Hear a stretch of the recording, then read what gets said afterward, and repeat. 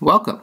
My name is Alex Keh. I'm a product manager here at Oracle's .NET Development Group, and we're going to talk about Oracle Data Provider for .NET Database Connections, how to use connect descriptors and net service names. Most beginners of developing with ODP.NET usually start out with the Easy Connect method to connect to the database. The Easy Connect method is very easy to use, but as you get into more varied Oracle database deployments for the client and ODP.NET, you'll want to use Connect descriptors and net service names in order to support those many varied and different scenarios. I'm going to show you the many different ways to be able to use Connect descriptors and net service names within ODP.NET, uh, whether you want to use it in your .NET config file or if you want to store them on your file system. So let's go to Visual Studio in Visual Studio, let's open up a new project. And we're going to open up a console app. We're going to keep it simple here. And in this console app, obviously the first thing we'll need is odp.net. So let's go to NuGet and download odp.net. We're going to use the manage provider. So if I right click on references, I'll manage NuGet packages and we'll browse nuget.org for our .NET package. Here it is, manage.data access. We install it. We see that that's the correct package we want. We accept the license and it gets downloaded and configured. So now that we've downloaded and configured it for, um, for a generic deployment, let's start adding some code. First thing we want to do is add the namespace to uh, manage odp.net. And we just need the client namespace. We don't need the types. Uh, we'll keep the application quite simple since we're just demonstrating connections. And then we'll add some code. I have a code snippet already created, so let's use that.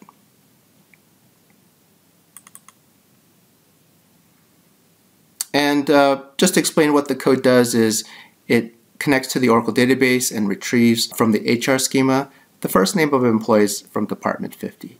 Uh, what it does is not terribly important for this lesson. We're more interested in the connection information. So let's start configuring the connection.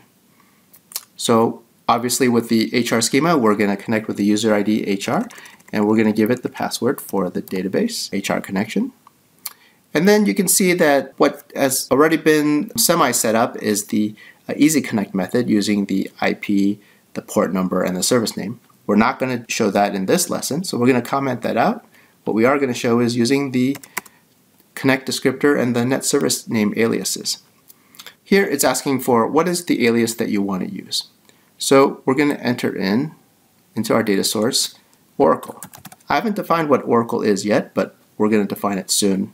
This will be what the alias is so that when ODP.NET looks for the connect descriptor about how to connect to the Oracle database, it will use this alias to match up with that connect descriptor.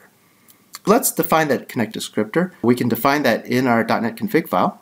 Let's go and open that up so that we can go modify it. So here we are in the .NET config file, and let's move down to the Oracle Managed Data Access Client section of the config file. This was added in when you downloaded managed.odp.net from NuGet. Let's see what we can modify. Here we can see that the alias has already been created, a sample one here. We we created it as Oracle in our application, so let's define it as Oracle here. And then we look at the descriptor, which provides the more complete information to be able to connect to the Oracle database. Uh, we see that the protocol being used is TCP. We see the host is by default set to localhost, and my database actually happens to be running on this computer, so we can leave it as localhost, but obviously you would put in your server name or your IP here in the host. And then the port number is the standard 1521, and then the service name, which I've defined as ORCLPDB rather than the default name that's being used here. I can just run it now. I'll hit F5 and this should work. We should be able to connect to the Oracle database and see the all the employee first names from Department 50 and that we see exactly that there. So it's it works just great. Now, remember what's happening is that the alias is being used to find the connect descriptor defined here. I can move the connect descriptor right into the data source attribute if I'd want to. So if I copied this here in the descriptor, I'll hit Control C, I'll go back to the program, and then I copy over the alias and just insert the descriptor. I can just run it like this as well. And we should be able to see the same results we saw before. Perfect. But since a lot of people like to use aliases, let's reverse that out and just go back to Oracle here. You just seen how you can define your connect descriptor within the config file. Let's see what other ways you can define your connect descriptor. So let's uh, let's comment out this and try to use the connect descriptor from the file system itself rather than from the .NET config file. Some people like to use a file uh, to store their connect descriptors. The file name that Oracle defines to be used is called tnsnames.ora. Let's see how we can do that. First, let's comment this out. And then let's go to the uh, working directory. And the default location to use for your tnsnames.ora file location is the current running directory. That applies to both web applications as well as client-server applications. For, since we have a client-server application in this console project, uh, it's in the bin debug folder. And here, let's create a file. This will be a text file, but we're going to call it tnsnames.ora. So let's open this and let's copy over the connect descriptor. The connect descriptor requires a net service name alias, and that's it. So we just set the net service name alias equals the connect descriptor. We save this file, and uh, we can run it from right here.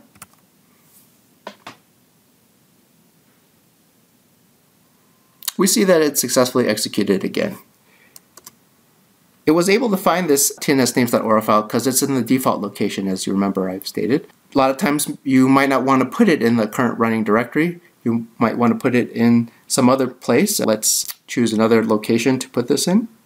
Let's say we wanted to put in another directory here. Let's just choose this one. Now, how do you tell ODP.NET to find the tnsnames.ora file in this directory? You have another setting in your config file, which you can place in. Let's, it's called the tns underscore admin setting. And then if we add an XML snippet I've created, we can see how that works. So this one is under the settings section of the uh, Oracle Managed Data Access Client section of your .NET config and it's got this attribute, tns underscore admin, and then you define the directory where it's located. If we go copy and paste this directory here, we save it, and now let's run it. We see that the application successfully executes and connects to the database. So that, in a nutshell, is how to use connect descriptors and net service names. Uh, hopefully you can employ this in some of your .NET Oracle database applications in the future. And thank you for attending this lesson.